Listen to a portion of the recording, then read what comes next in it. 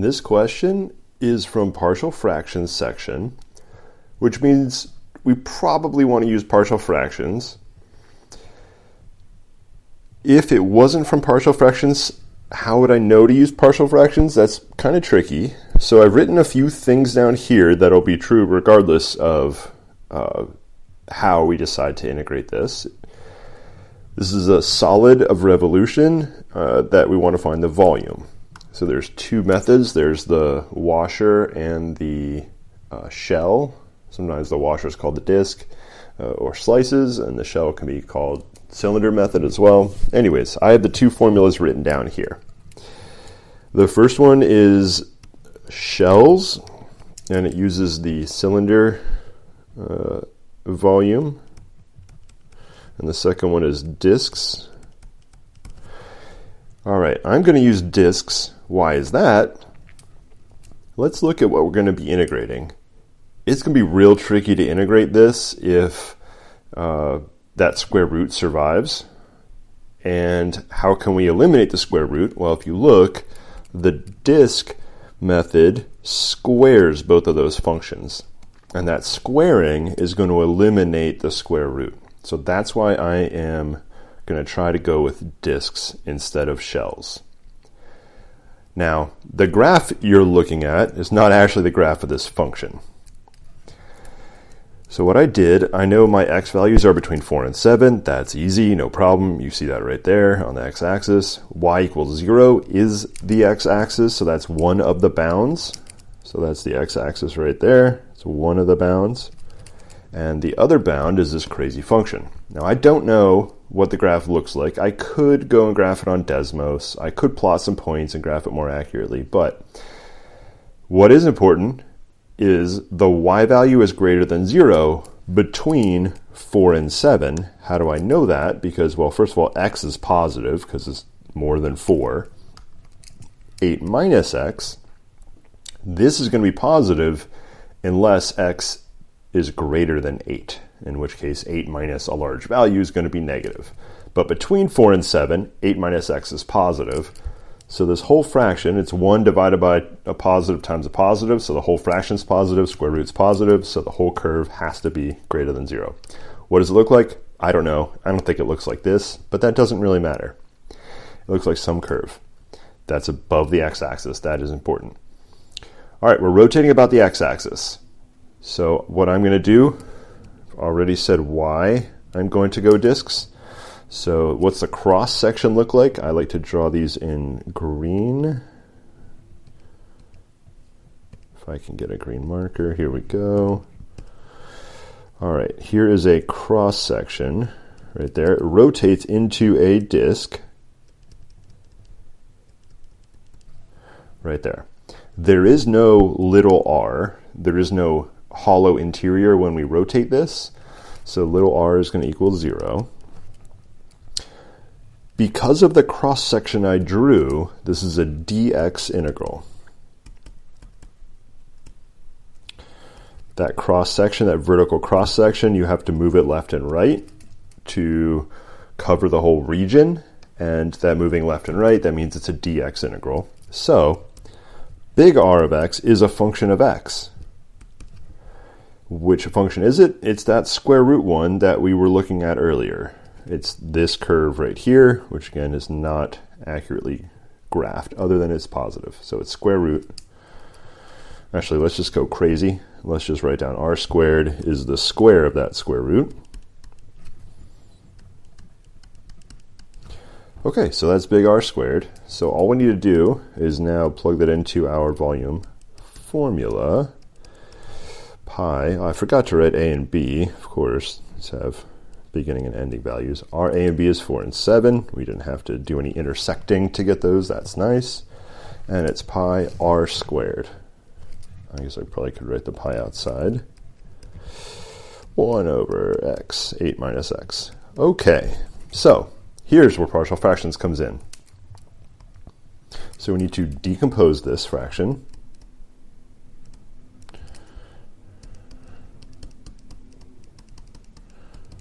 So we have something over x plus something over 8 minus x Now, normally we would have written that as x minus 8, but I'm just writing it the way uh, in this order here 8 minus x. I don't think it'll make a big difference.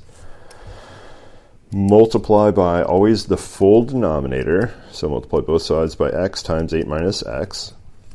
So we get 1 equals a 8 minus x plus b x. All right, in this form, pretty obvious. If x is 0, you'll eliminate b.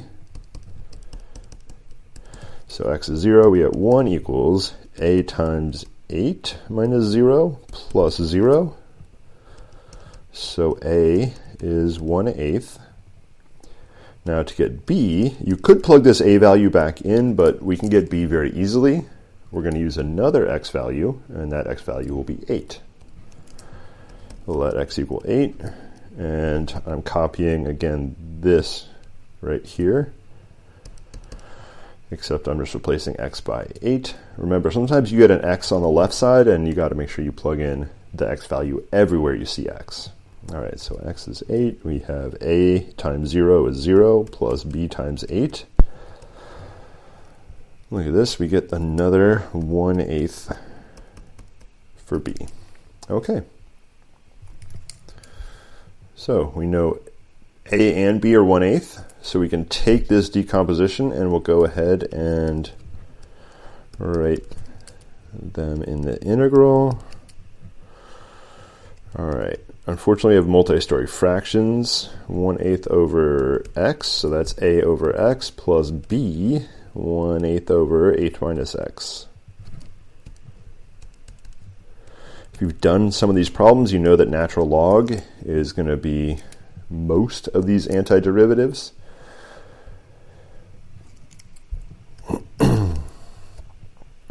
so factor out the 1 eighth and then break up the integral into 1 over x dx plus integral 1 over here if I read as x minus 8 how does that relate to 8 minus x? That's the negative. I just made the 8 negative and the x negative, the negative x negative. And one way to do that is multiply by negative 1 over negative 1. I can squeeze that in here. And then that would make this negative 1 on the top. All right, you could have done a u sub if you left it like this, and your d, your u would be 8 minus x, du would be negative dx. Totally reasonable to do a u sub on that and not do this algebra that I just did. Now, in this form, they're both natural log. You don't really need to do a u sub if you've done enough antiderivatives at this point in your life. Uh, totally forgot the 4 and the 7.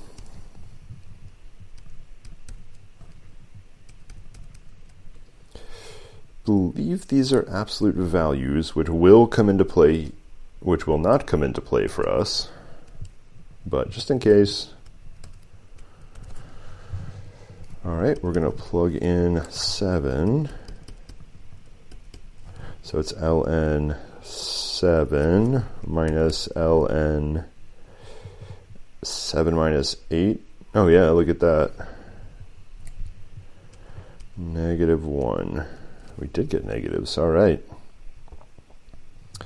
So that would be negative 1, yes. Okay. Minus, so that's the positive one. Minus, and the pi over 8 times the whole thing. Now plugging in 4. ln 4 minus ln 4 minus 8 is negative 4.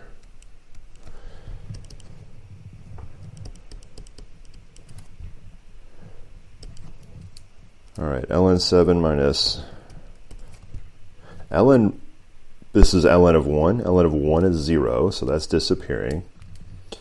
If you look at the second one over here, they're both ln 4, so they're going to cancel. This one's ln 4 minus ln of absolute value of 4, which is ln 4. So I'll just write minus 0 minus 0. So it's just pi over 8 times ln of 7 I don't have my keyboard plugged in, so I'm going to use my phone so you can't see my calculation, but I'm not going to make sure I'm accurate here, even though you can't check. All right, calculator, scientific. All right, pi over 8, pi divided by 8 times ln 7 equals point zero point seven six four one five seven. All right. So let's see how we did. By we, I mean me.